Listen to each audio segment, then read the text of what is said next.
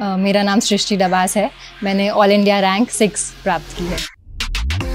Sink in करने में तो बहुत टाइम लगा, बहुत। आई थिंक पूरा ही दिन लग गया कि रियलिटी है ये और दिस हैज़ हैपन इतना प्रिपेयर करते हैं, इतना पढ़ते हैं but then the D day पे it's asked entirely different I never put it into number of hours कभी एक्चुअली एक बार बैठती हूँ पढ़ने तो देखा भी नहीं कभी कितना टाइम हुआ है। More of a stress test I would say and I think वो क्वालिटीज़ जो वो ऑब्ज़र्व करते हैं वो हमें आंसर्स देते टाइम पता नहीं चलता है but they are testing how you perform under pressure mental health is something जिसके बारे में बात करना बहुत ज़्यादा ज़रूरी हो गया है me being a girl child, I wasn't even accepted while I was born. To be very honest, my interview I felt was a disaster. एक बार अगर ठान लें और एक बार सोच लें कि करना ही है तो फिर ये क्यों सोचना कि थर्ड या फोर्थ अटैम्प्ट में करें हमेशा एम तो हम हाईएस्ट के लिए करेंगे ना you you know know?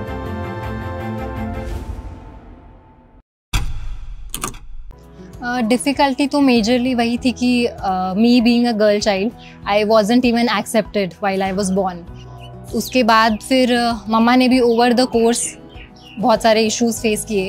And currently my parents are separated so my mother being my sole support entirely लेकिन उन्होंने कभी ये फील नहीं होने दिया that anything is less बल्कि उन्होंने हमेशा वो ऑप्टिमिज्म और पॉजिटिविटी मुझमें डाली है कि despite all the problems that we have faced हम उन प्रॉब्लम्स को फेस करके एक्चुअली पॉजिटिवली आगे कैसे बढ़ेंगे? आई थिंक चैलेंजेस तो सबकी ही लाइफ में होते हैं. कुछ ना कुछ तो डाउन ज़रूर रहेगा लाइफ में। परफेक्ट लाइफ तो किसी की भी नहीं होगी। मेरे केस में वो uh, मेरे फैमिली के कुछ इश्यूज़ थे। तो मम्मा को स्ट्रगल करते हुए देखना एक्चुअली बहुत ज़्यादा पॉजिटिवली इस चीज़ ने मुझे इम्पैक्ट किया। बिकॉज़ फिर समझ में आया कि हाँ not just in my household but generally society में इशूज़ क्या हैं? एंड उसको रैदर देन नेगेटिवली देखने की जगह आई प्रेफर्ड कि मैं कैसे इसको चेंज करूँ। हेंस एज आई सेड कि reaching at a position where actually I can make a difference not just in one household but in society at a large in the entire country and वो एक arena है जहाँ मैं specifically work करना चाहूँगी। Preparation uh, तो क्योंकि graduation का मेरा फाइनल सेमेस्टर जो है वो कोविड में ही निकला। अनफॉर्चुनेटली फेयरवेल भी नसीब नहीं हुई। सो तभी से ही uh, सब कुछ बहुत शट डाउन लॉकडाउन था।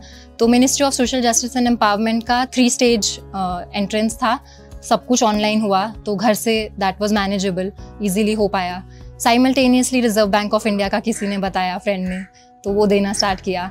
And as I was working with the ministry reserve bank of India का इंटरव्यू उस दौरान दिया था। साथ साथ वो भी हो गया फिर आई स्विच द जॉब फिर वहाँ जाने के बाद थोड़ा दिल्ली uh, से मुंबई शिफ्ट किया तो सेटल होने में थोड़ा टाइम लगा।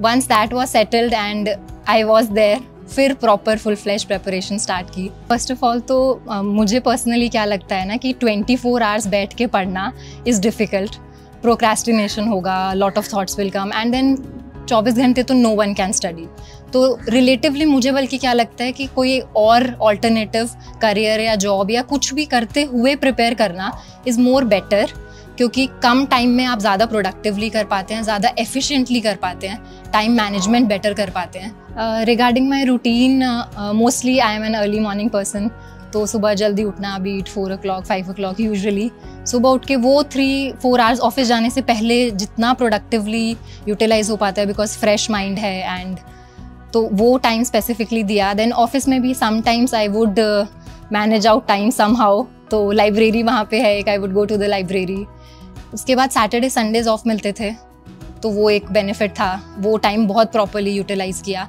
एंड जो भी मेरी लीव्स अवेलेबल थी वो leave management I think I did that very judiciously तो प्रिलिम्स के टाइम भी मेंस के टाइम भी एंड इंटरव्यू के टाइम भी कब कितनी लीव्स लेनी है प्रॉपरली वो आई थिंक uh, सब कुछ एक साथ manage well I never put it into number of hours कभी एक्चुअली एक बार बैठती हूँ पढ़ने तो देखा भी नहीं कभी कितना टाइम हुआ है।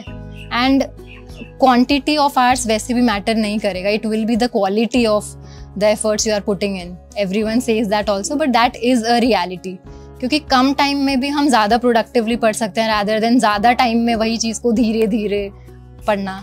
Uh, ये I think person to person vary करेगा. जैसे आपको सब्जेक्ट भी एक बारी में एक करना है या टू सब्जेक्ट साइमल्टेनियसली रखने हैं. सबकी पर्सनल चॉइस है सबकी पर्सनल कंफर्ट है.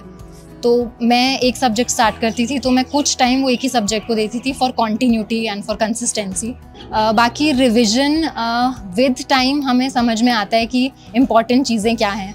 तो as an when we move to the next revision time हमेशा कम होता ही जाएगा, क्योंकि पूरा पूरा पूरा दोबारा से रिवाइज नहीं करना पड़ता है।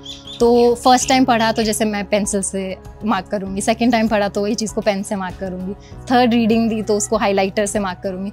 तो वो अपने आप टोन डाउन होता जाता है मटेरियल एंड देन ब्रेन में फ़ीड भी ज़्यादा होता जाता है तो उसको रिकॉल भी जल्दी कर पाते हैं। Particularly it's Kathak dance so so, वही हमेशा रहा है क्योंकि not just as a physical form of exercise but as a mental form of exercise कि कुछ लोगों के लिए वो मेडिटेशन और योगा होता है।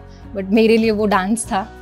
तो तो जब आप प्रिपरेशन करते क्या उसके टाइम के बीच में भी आप कथक के लिए टाइम निकाल पाते थे? कभी कभी हाँ इतना टाइम तो मिल जाता है। क्योंकि स्पेसिफिकली सेपरेटली तो कुछ टाइम निकालना नहीं पड़ता है। बल्कि रादर जब बहुत स्ट्रेंड आउट हो और पढ़ाई नहीं हो पा रही है then I think dance is a beautiful thing to make make yourself rejuvenated. तो जैसे आरबीआई मैंने ज्वाइन किया दिसंबर 2021 में। उसके बाद ज्वाइनिंग एंड मुंबई में घर ढूंढना सबसे बड़ा टास्क था। वहाँ पे सेटल होना, वो सब में थोड़ा टाइम लगा। देन वहाँ इंडक्शन मेरी इंडक्शन ट्रेनिंग हुई। वो मई में हुई, कुछ मई 2022 एंड देन अक्टूबर 2022 में। दैट वाज स्प्लिट थोड़ा सा। Sort of after the induction I began properly तो I would say September 2022 onwards थोड़ा स्टार्ट किया। पेस बनने में टाइम लगा। ऑप्शनल प्रॉपरली पहले किया। देन प्रिलिम्स और mains as everyone say इसकी बहुत डिस्क्रीट चीज़ें तो है नहीं साइमल्टेनियसली ही करना होता है। तो जो भी एक बेसिक कवरेज uh, है बेसिक सब्जेक्ट्स का जोग्राफी हिस्ट्री इकोनॉमिक्स पॉलिटी वो सब एक बेसिकली कवर किया। Then two thousand twenty three it started कुछ कुछ आंसर राइटिंग भी every day I would do January Feb तक भी वो रखा। उसके बाद थोड़ा फुल फ्लेजेडली प्रिलिम्स पे आ गया। March and April full fledged prelims May में प्रिलिम्स था then this time prelims was काफ़ी थोड़ा डिफरेंट सो थोड़ा डाउट था, होगा, नहीं होगा बट डिफरेंट कोचिंग इंस्टीट्यूशन से आंसर की, लगा के देखा था तो था कि हाँ हो जाएगा. आफ्टर दैट प्रिलिम्स का रिज़ल्ट आने के बाद तो थ्री मंथ्स वैसे ही बहुत कम टाइम मिलता है. Full fledgedly that went in to means proper answer writing then making my own notes वो एक इंपॉर्टेंट uh, चीज़ थी बिकॉज़ हमारी मेमोरी इतना नहीं रिटेन कर पाती है कि हमने बस कुछ पढ़ा कहीं से और उसको हम रिप्रोड्यूस कर पाएँ। तो उसको क्रिस्प में लिखना। After the mains was done उसके बाद थोड़ा सा टाइम आई वुड से कि जब तक मेंस का रिज़ल्ट नहीं आता है इतना प्रोडक्टिवली पढ़ाई नहीं हो पाती है बिकॉज़ बहुत अनप्रिडिक्टेबल है मेंस होगा नहीं होगा। खुद को समझ नहीं आता है हमने कैसा दिया। एंड फ़र्स्ट अटेम्प्टर के लिए I think even more difficult क्योंकि रिलेटिवली कंपेयर करने के लिए कुछ नहीं है। तो टू मंथ्स बाद इंटरव्यू का रिज़ल्ट आया। उसके बाद तो फिर एकदम ही full fledged interview reading a lot of newspapers first list में इंटरव्यू में नहीं आया name then I was expecting second list में आएगा, उसमें भी नहीं आया। फिर लगा ये तो काफ़ी लेट हो रहा है। थर्ड लिस्ट में नेम आया। तो twenty six March two thousand twenty four was my interview and as I said बस उसके बाद तो वो टू वीक्स बड़ी मुश्किल से निकाले हैं जब तक रिज़ल्ट आए to be very honest my interview I felt was a disaster मतलब uh, जिस जो एक्सपेक्टेशंस थी जैसा सबसे सुना था कि बहुत कॉर्डियल कॉर्डियल जाता है। It is more of a conversation not of a question answer session वैसा बिल्कुल नहीं था। काफ़ी डिफरेंट गया फ्रॉम एक्सपेक्टेशंस तो उसके बाद I actually was very off कि मतलब पता नहीं क्या होगा। Regarding the question it was more of a stress test I would say and I think वो क्वालिटीज़ जो वो ऑब्ज़र्व करते हैं, वो हमें आंसर्स देते टाइम पता नहीं चलता है. But they are testing how you perform under pressure how you are able to respond to very unexpected questions so question के रिगार्डिंग जैसे one person was an army man so he आज me core army stuff and I have no background in that mains के time पढ़ा होता है defence तो लेकिन since उसको बहुत ज़्यादा रिवाइज करते नहीं है, क्योंकि डैफ प्रिपरेशन के टाइम वो आया नहीं. तो those questions were a bit off track but C D S से रिलेटेड थे. What is theatrisation of warfare what are the criterias for importing of our defense equipments? Then indigenization of our weapon production. These were some of the questions. From my DAF, I think it was covered quite less, but my hobby Kathak was, I think, touched upon well. Kathak से काफ़ी चीज़ें मुझसे पूछी गई regarding Kathak maestros then if I am made the cultural secretary of India how will I promote our Indian cultural heritage that I think was a question जिसमें मेरा opinion test हो रहा था तो उसका थ्री पॉइंट्स में answer दिया. Then social media how do I see it how do I bring about a change in the negative factors that are creeping in, into the social media front. The very beginning of the interview वो ही मुझे लगा काफ़ी of track सा जा रहा था because हम इतना प्रिपेयर करते हैं, इतना पढ़ते हैं but then the D day पे it's almost entirely different the question जो बिल्कुल एक्सपेक्ट नहीं करेंगे एंड एकदम फ़र्स्ट टाइमर होंगे on the moment at the spot reply करना होगा तो उस मोमेंट पे थोड़ा सा एग्जैक्टली exactly क्वेश्चन की डिमांड क्या है वो इतना समझ शायद नहीं आया। But I try to handle it as best I as I could then where do I see more politics daily और Mumbai then how what is the how do you see the trajectory of the Indian state so this becomes an open ended question I could have said a lot of things there I you seeing the Indian state growing stronger और weaker So there were a lot of opinion based question and बहुत सारी चीज़ों पे test हो रहा था कि एकदम अनप्रडिक्टेबल सिनेरियो में मैं कैसे रिस्पॉन्ड करती हूँ। ट्वेल्थ ऑफ़ अप्रैल को ही काफ़ी था कि आ जाएगा, आज आ जाएगा, आज फ्राइडे था। देन नहीं आया उस दिन। फिफ्टीन ऑफ़ अप्रैल तो काफ़ी ज़्यादा ही लग रहा था कि आ जाएगा आ जाएगा। But still everyone was like नहीं, माहौल सा नहीं बन रहा है तो नहीं आएगा। सिक्सटीन को काफ़ी श्योरिटी थी सबको कि आज तो आ ही जाएगा। मॉर्निंग से वेट कर रहे थे कॉन्स्टेंटली टेलीग्राम ओपन करके, अभी पीडीएफ आएगी, अभी पीडीएफ आएगी। जब तक इंटर रिज़ल्ट नहीं आता है एक एक मिनट काटना बहुत डिफ़िकल्ट है। And then at a fraction of a second it just comes and P D F is there you open it a friend was there with me उसने देख के बताया and he started shouting six six six एकदम से I just went blank पहले तो मुझे लगा नहीं फेक पी डी एफ़ ना हो हम एक बार कन्फर्म कर लेते हैं. U P S C website से खुद से डाउनलोड करके देखा।